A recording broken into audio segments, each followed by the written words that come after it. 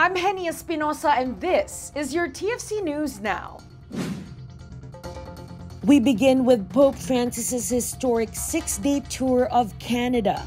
The first papal visit to the country was undertaken by the Pope to formally apologize to the Indigenous people of Canada for the Church's role in abuses at residential schools. He was in Quebec City Wednesday, where he expressed deep shame and sorrow for the harm done to survivors.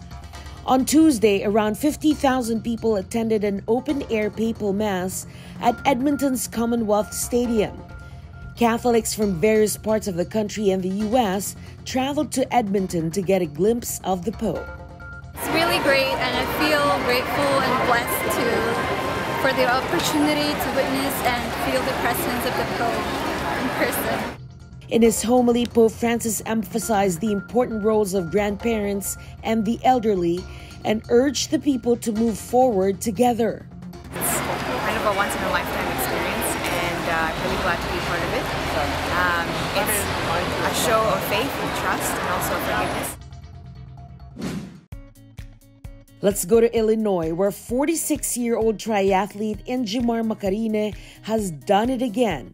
The Bohol based Macarine completed a full open water swim in Lake Michigan last Sunday, an event organized by I Swim for Veterans.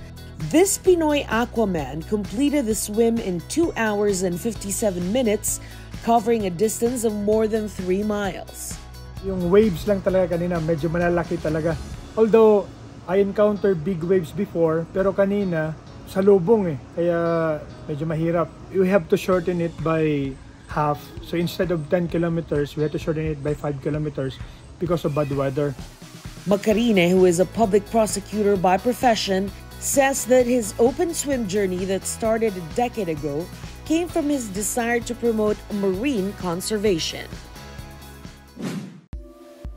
And finally, it was a big win for an I Want TFC original in the 40th Outfest Film Festival in West Hollywood. Outfest has announced that Sleep With Me, directed by Samantha Lee and starring Lovi Poe and Janine Gutierrez, has won the Audience Award in the episodic category. The series, which premiered the first three episodes at the long running LGBTQ themed film festival, will be available on I Want TFC beginning August 15th. The six episode series revolves around a pair of characters navigating their love lives and disabilities. And those are the news making headlines today.